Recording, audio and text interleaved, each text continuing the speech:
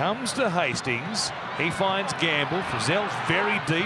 Gagai's there with him. Goes on the inside of Owen. Links up with Frizell once again.